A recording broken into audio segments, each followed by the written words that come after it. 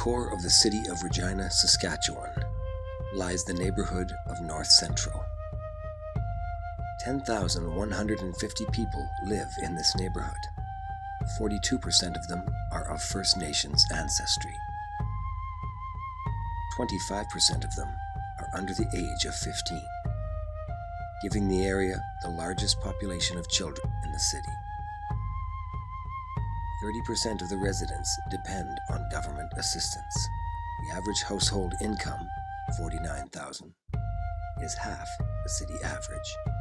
41% of residents have less than a high school education, and only 9% possess a university degree.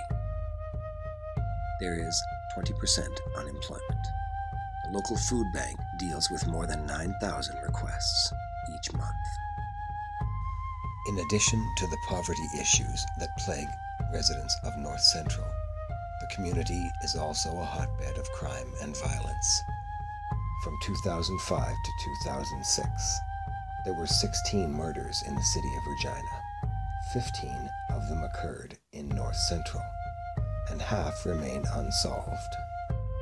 In 2013, there were 739 violent crimes, 1,153 property crimes, 150 drug crimes, and 92 prostitution crimes in North Central alone. Although only 5% of the city's population lives in North Central, the neighborhood accounts for 25% of all 911 calls.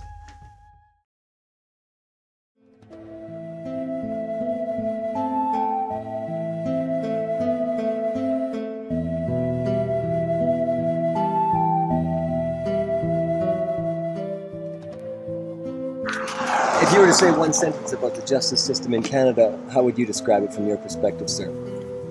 Oh no, like pretty fail it pretty much. Pretty Like, fail? yeah. And how so, sir? You see it's stuff on the street. Eh? Like, Mhm. They don't really, they don't really take take that take it seriously. serious. Eh? They just brush it off. Yeah. Yeah. Like you see all the time in this neighborhood. Yeah. hmm So you've lived here for a long time? My whole life. Yeah. Actually, I do this try to make you deals and stuff. Oh, they get yeah. you into the Interesting. Right. sentencing and stuff. Interesting. Right. Pretty much mess, messy over. I think they just I don't know put money on their On their plates. yeah. You can't get close to them. No, you don't know their aim. You don't know their mission. No. So as soon as they are coming, like they are coming to pay, the other one, you're just going to open the door Yeah. wide. Then, then that one just uh, run outside. There was a Yes. time that uh, Yeah. like uh, charity organization, Uh-huh. they put like a box of money in uh, Okay. this stuff. So then he just went to the back to grab some stuff. Then he heard the door open. So all of a sudden, normally they are, and the money is almost full. Yeah, I think uh, one of the staff says that they stabbed him. I think it's last year.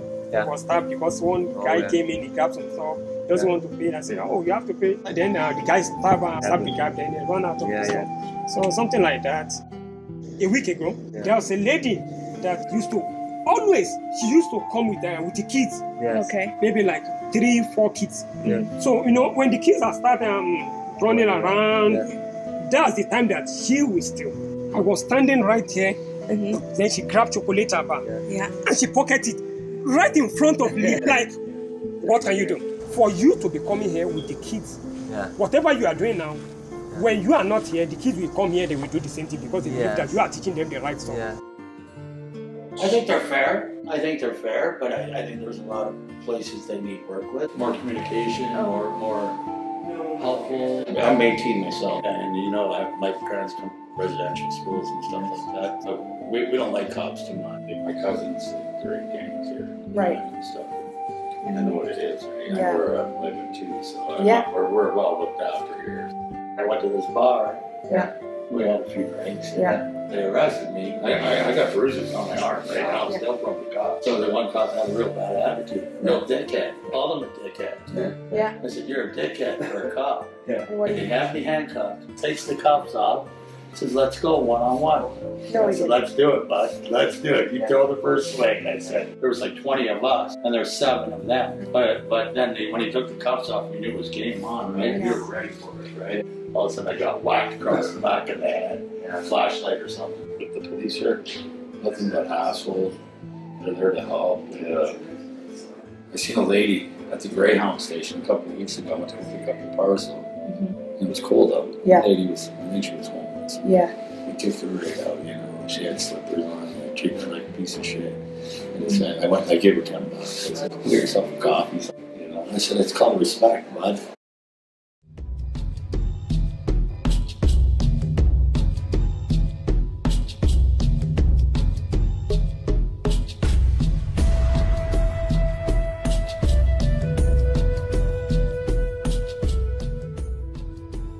Well, the Regina police, I don't really care for. It. I was working at Dollarama and um, I was on conditional sentence order, and one of my friends came in and stole, and I didn't know that. And I went to trial and everything, and the cop said that like I was stealing. Somebody had to get it pinned on, so I got it pinned on me. And I went to trial. I took it to trial. I did You my tried hardest to- to fight it, but like all they seen was a native woman. So I went to jail for nine months. I had to leave my son, and I wasn't stealing. Like I was behind the till. So what happened to your son? Uh, he was with his dad, Okay. but he didn't know me when I got out, and it was like really like devastating. Six years ago, I was left. I was beaten, left for dead, and raped, and couldn't walk or nothing. I don't even know if they caught the guy. Did you report it at all? Oh, I did, and you know what? He was a serial, serial rapist. Yeah. Uh, he got away. He Was stole my. a case at No, all? I don't know. I don't remember. All I know is he attacked Yeah. several women, Right. and he killed one woman. Wow. I was one that survived. Survived. I crawled to the road and almost got hit by a car. I had a concussion. I lost my memory, Uh-huh. And I still have not gained Uh-huh. it back. Yes. I live with all these injuries that I have to live with. No justice. Now you're living, living, renting a house in, in North Central. Yeah. So, what's one last sentence you might say about justice in Canada? It's not the best, but it works. Okay, okay. Thanks very much. Yeah, okay. Very cool, man. Yeah.